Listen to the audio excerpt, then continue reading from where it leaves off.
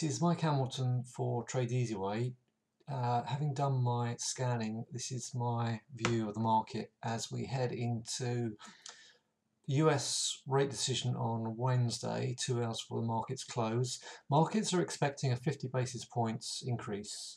We had Bank of Australia last night raise rates to uh, 0.35. They're only expected to go up to 2.25. So the money is on an aggressive 50 basis points raise in rates. And we also got monthly US jobs on Friday. So here's the dollar on the daily index coming sitting right up at this extension. So it's been on a huge run ever since uh, May last year. And this is potentially going to already peg back commodity prices. So it's possible uh, in this scenario that with a strong dollar, uh, the inflation could have peaked earlier than people expect. So this this early aggressive uh, raising rates, if we get it, may not be um, as bad as we expect if the market then believes and we then get delivered lower rate expectations the rest of the year. Some very aggressive um, predictions are that we get another 50 basis points on the next meeting as well. So we end up with a full 1, 1% above from where we are right now.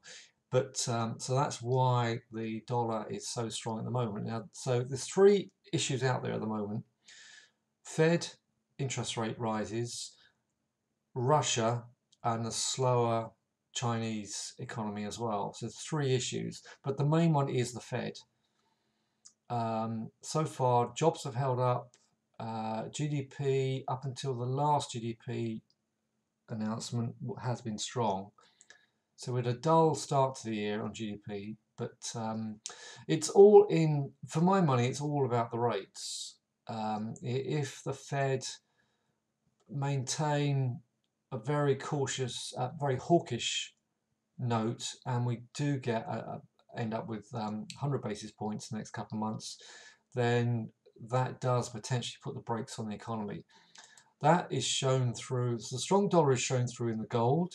At the moment, the gold looks if it's, we're 1855 as I speak, unless we turn around on the back of this decision this week. Uh, we could come all the way back down to 1800 and back down here to 1790 at the moment. This is just falling out of the sky at the moment.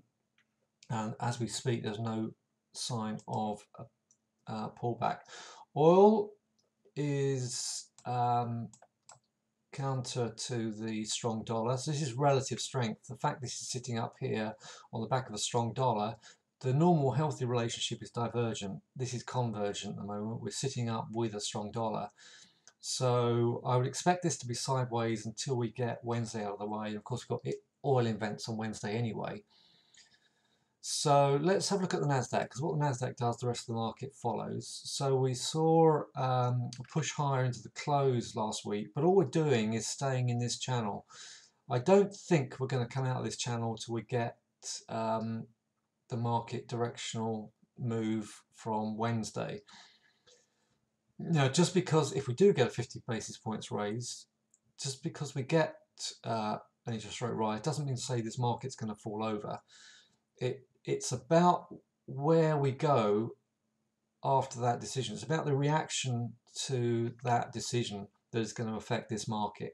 So if if we pop out of the top of this uh, channel, then we could recover to 14,000. If we break these lows, then we are coming down to 12,000 and potentially lower.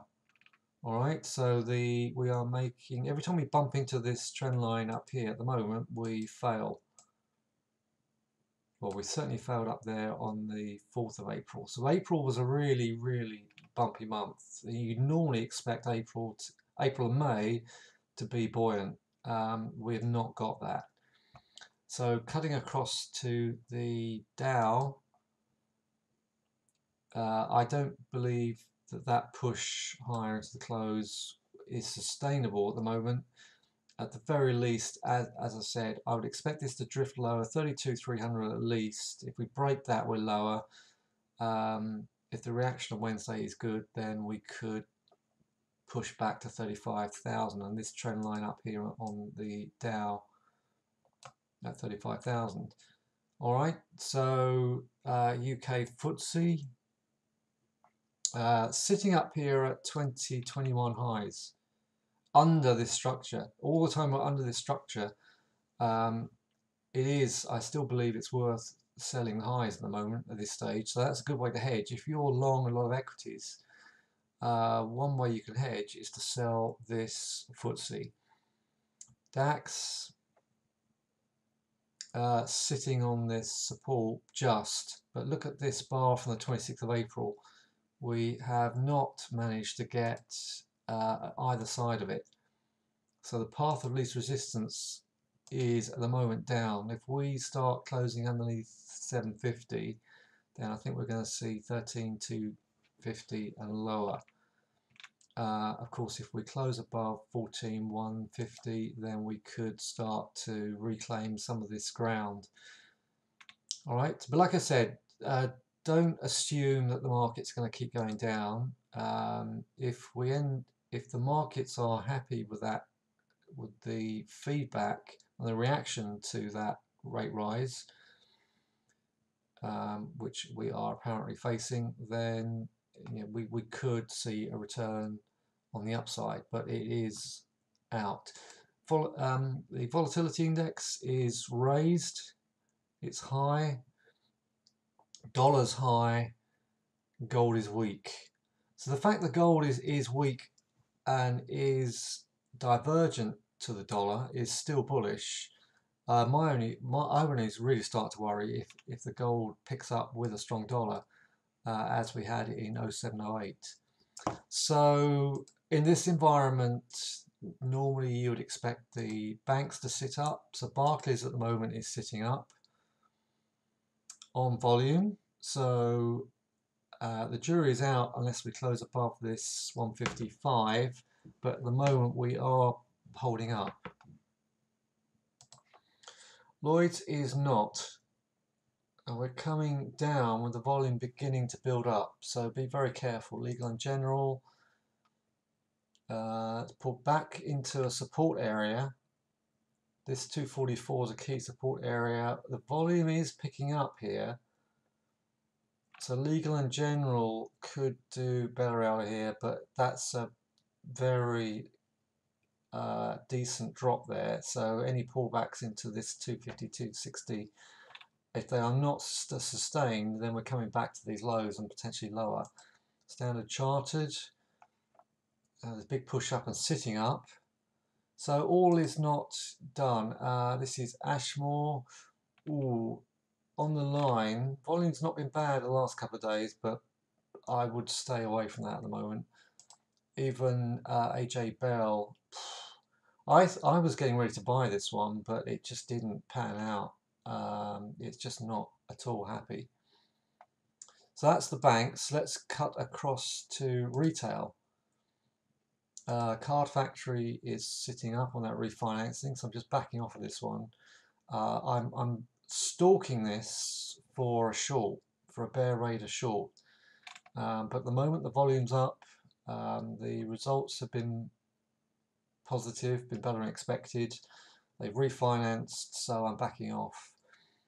And let's have a look at the, the boo, because it's attempting to push up here.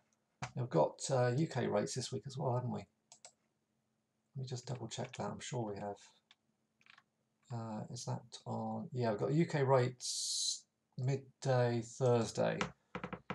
So a rate rise uh, could hit these guys as well. Uh, it's certainly attempting to hold this. Uh, there's a bit of a little we, we broke up here from 75, 76, we're sitting above this. Uh, I would back off until, I, I think this is a week to sit on your hands and see what the market wants to do, but particularly up until Wednesday. Let's see how the market reacts for Wednesday. ASOS trying to perk up. This is, this is a very beaten up stock and the volumes, although have been better, they are still not great. Sainsbury's um, the jury's out. we had this big drop on the 28th. Was that earnings? I'm not sure. I can't remember. Tesco. And Tesco has picked up. It's only nudging that trend line though. Uh, I'm just very cautious. I'm happy to sit on my hands at the moment. Royal Mail Group, lovely spike up into the th 360 resistance, and now we're continually dropping back. So I'm just I continue with this theme of short-termism that I've, I've had this year. Um, you know, if you've got 15 to anything between 15 30 percent gets me out of stocks at the moment. Uh, this is Chewy on the line. The volumes are building, but from a low base. So uh, I, I, think it is. You my theme of short-termism and particularly this week, sitting in my hands um, is very much the way I want to do it. I want to handle it at the moment. Let's just look at basic materials and then I'll finish up. Uh, Rio. It's, it's under this trend line. So all the time we're under this trend line. I won't let me grab it for some reason. There it is. Uh, all the time we're under this trend line. I think we could come lower. And volume suggests that as well. Man group. Um, now this this pulled right back to that pink zone and, and perked up, um, but I would back off for now. Uh, Elementis, um, still not touching it, still waiting. Let's have a quick look at the miners, then I'll finish up. Uh, we've got uh, Hochschild. Uh, that was a little reversal signal there on Friday on higher volume, so uh, I do think this is worth a punt but I would have a tight stop. I think this this 115, 116 is potentially viable, but I would get out if it gets under 110. I'd keep my stop at about 108.50. Um, Pan African. Uh, sideways, but the volumes have been very strong the last few days. So these these miners do appear to be getting bought. Um, Griffin, now this, this needs a pullback because it went on a big three leg run. I would sit tight. Um, I'm much happy with Pan African and uh. Right, that's it. I will do a. I've got an event coming up on Wednesday instead of the usual midweeks, and um, I'll get back to you with the format uh, going forward here, for our sessions. Thanks for listening. Uh, caution is seems to be the key word. Talk to you very soon.